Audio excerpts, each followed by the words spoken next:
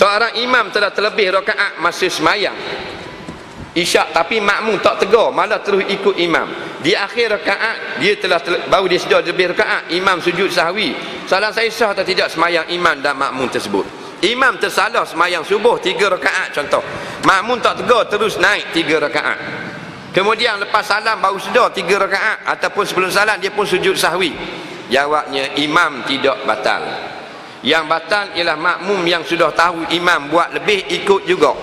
Maka makmum tu yang batal. Makmum yang tak ikut yang tak tak sedar terus ikut kerana dia ingat masih dua juga makmum itu tidak batal. Nabi kata ju'ilal imam liyutamma bih. Dijadikan imam supaya orang ikut. Tapi apa makna ikut? Pada yang disuruh syarak saja. Adapun semayang subuh tiga rakaat syarak suruh tak? Syarak tak suruh maka tak boleh ikut yang disuruh ikut ialah imam buat yang syarak suruh Contoh sujud sahwi bila terlupa syarak suruh tak? Syarak suruh wajib ikut.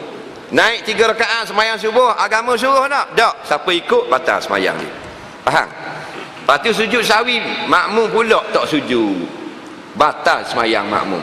Kata Imam Nawawi rahimahullah taala, "Iza sajadal imam imamu sahwa bila imam sujud sahwi sajadal makmum. Kena sujud makmum. Wa illa batalat salatuhu. Makmum yang tidak sujud bersama imam batal solat makmum. Faham? Ha batu belajar belajar belajar. Belajar beramal belajar beramal. Dah ha